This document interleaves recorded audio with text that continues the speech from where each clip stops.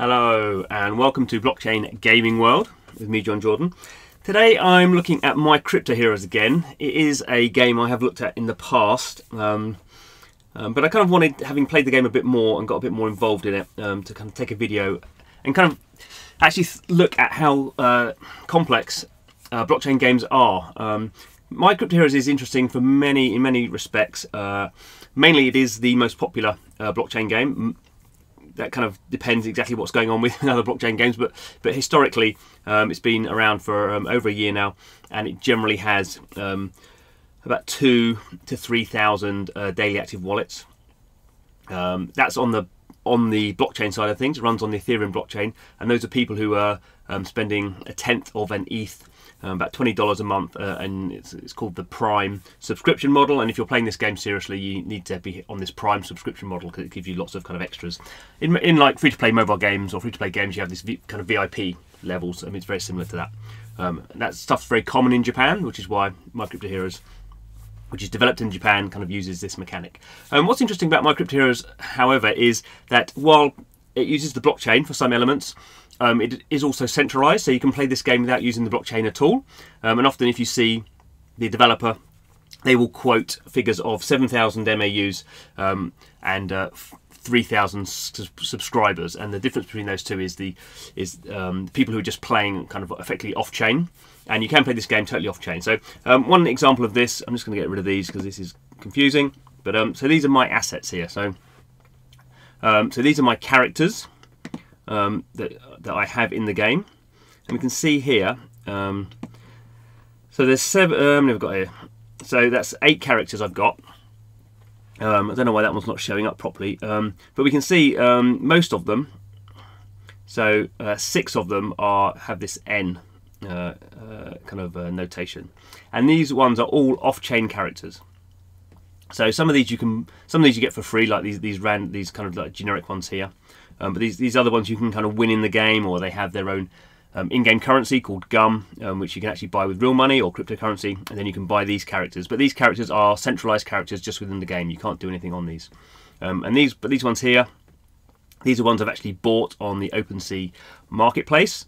Um, and you can see that this is a common character and this is an uncommon character. Um, uh, and it's a little bit confusing actually. So we can see here, this this I'm clicking on this box here, this is my Crypto Heroes world. So this is what's showing what's go these are my characters in the world. Um, my heroes, some of which are on the blockchain, some of which are not. But if I go here and click on Ethereum network, so looking uh, at my wallet, it will it will um, come up with this character here, which I've bought just bought on on OpenSea. But this character, um, she's actually um, being held in my Ethereum wallet, and if I want to use her in my crypto heroes, I have to transfer her to my crypto heroes world.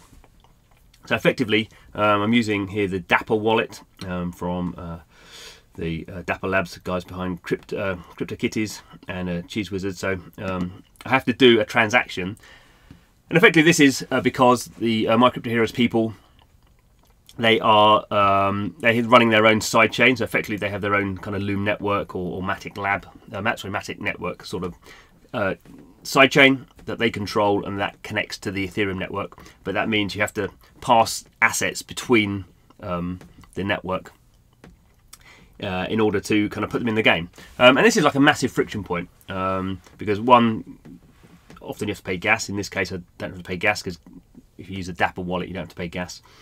Um, they, they kind of cover that gas for you. But obviously the other thing is now I have to wait for this to transfer. This is currently on the Ethereum network. Now I have to wait for it to transfer into um, into my crypto heroes sidechain, and that's obviously a transaction that takes time. And we can see here. I don't know why they keep having this. Oh, go away. Um, uh, yeah, so we have to kind of wait for that to happen. Um, just for the purposes of the video, there are these hero characters. You also have extensions. These are this is like gear. Um, so th th this is all gear within the game. None of this is blockchain gear. Um, so this is kind of gear you use to um, equip your character. And there's also land. So like a lot of blockchain games has have land.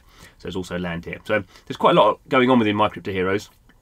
But what's very interesting is I think what we actually find if we consider what's going on with My Crypto Heroes is most people are playing the game and they may be even spending kind of this this tenth of an ETH a month to get this kind of uh, this Prime um, subscription model, which is which is well worth it if you're doing if you're playing the game.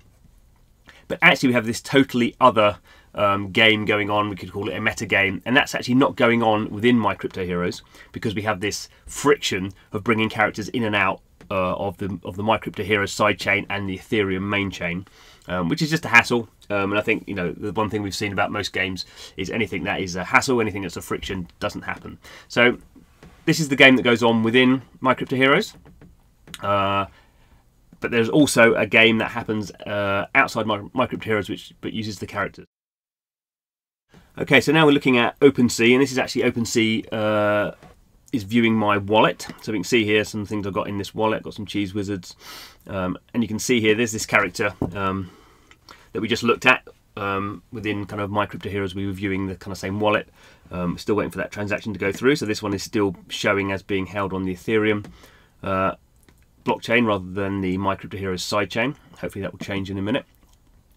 Um, but what's interesting is um, we can go and look at, um, so this is OpenSea, this is a um, third party or second party, if you want to call it, it's, it's, a, it's an independent marketplace.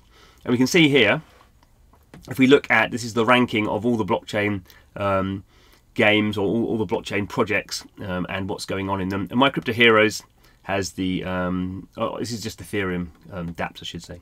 So you have 302 ETH um, in terms of the weekly uh, volume um, and uh, the average price in ETH there. And you can see my crypto heroes, are about 2,000, just over 2,000 owners of 42,000 assets. So um, what's interesting is, although we have this kind of a game where, where people are playing and a lot of them aren't on the blockchain, we have this other game where people are selling. Um, so these are the extensions. These are, this is an extension. This is um, like a gear, and then we have these hero characters. Um, we can see they're selling for different prices. We can so these this is recently listed. Um, probably easier if we just look at the hero characters actually because it's a bit clearer. Um, so we can see these these hero characters. So these are ones you could buy, and then if you wanted to, you could bring in the game. But actually, what's happening, I think, in the majority of these cases, is people are um, just trading these characters. Now you might buy a character on the Ethereum blockchain, bring it into the game, level it up, and then trade it. So you can kind of create value that way. But I think in lots of cases, what's just happening here is um, people are just kind of uh, trading. Uh, and have a look at some prices um, that have been uh, had recently. And what's interesting is my, my Crypto Heroes is, is, is, kind of one game I think um, in, in, in all of blockchains games at the moment where there is a, a really solid market in NFT trading. So these are NFT uh, NFT token non fungible tokens. All of these are unique, even though obviously some of them are the same kind of character. All of them are unique individual um, kind of blockchain items different levels and this sort of stuff. Um, and we can see here, I mean, some of them are going for kind of 0.3. Um,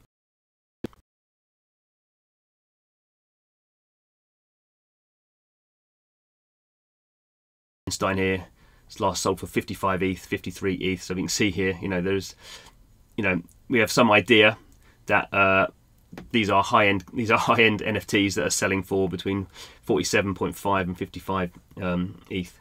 Um, and we have these, you know, or some down here, you know, selling different prices. We have Napoleon up here, 40 ETH.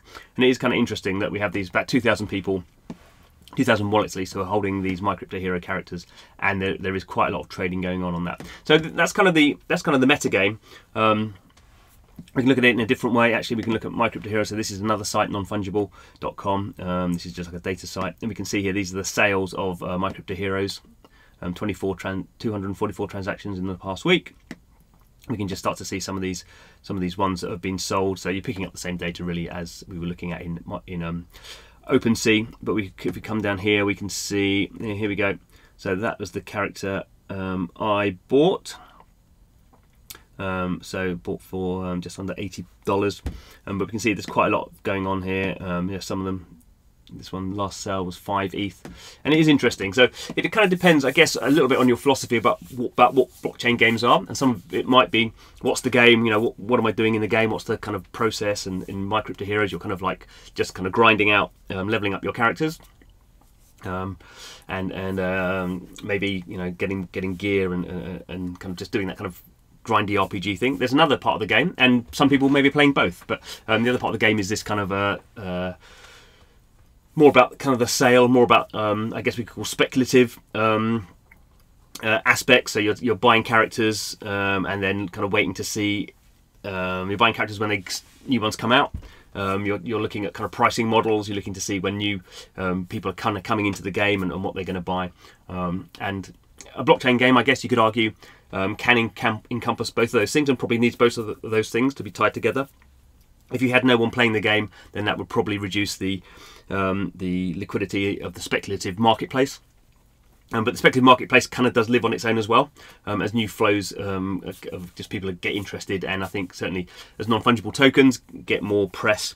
Um, non uh, My Crypto Heroes is is is a game that clearly has um, already has a lot of uh, kind of uh, interest in it, uh, and more interesting, I guess. Um, because these are not totally unique items that we can kind of see they are kind of the same some of the same characters although the, levels might be different um, we can kind of start to see get some idea of kind of pricing and then how much of these how much of the, you know what the price of these kind of things should be um, which is kind of much harder to do on something like like crypto CryptoKitties I suppose so there we go um, a, a, a, video about My Crypto Heroes. Again, it's a really hard game to get into. I wouldn't say I play it every day, um, but I think it's kind of one that if you're interested in the in the kind of DApp sector in the blockchain game sector, it's one really worth getting to grips with because it encompasses a lot of the complexity of the scene. I think too often we see blockchain games as being these very simple um, NFT uh, marketplaces. Um, or we, we see you know blockchain games as being something that should everything should run on a blockchain, uh, not so much about NFTs, uh, more about kind of just decentralized gaming in, in total. Um, and My Crypto Heroes kind of encompasses both of these things in, in a slightly kind of um, in, a, well, in, a, in, a, big sense of kind of greyness, different shades of grey. Um, and I think that's kind of how we have to be thinking about blockchain games in this kind of quite nuanced, um, sophisticated way, um, at least well, we wait and see um, how the how the kind of sector pans out, um, which will happen, I guess, over the part over the next kind of six six to twelve months. I guess we'll kind of get a bit more um, kind of clarity in, into the direction that people want to go in. Anyway, thanks for watching the video. Um, blockchain gaming world is all about the world of blockchain games. We delve into what's going on, try and make sense of um, uh, the kind of the trends, try and look at data to help us in that regard. So if you're interested in blockchain games, please do subscribe to the channel. Um, if you have any comments, please put them in the comments box. Uh, but thanks for watching and hope to see you again soon.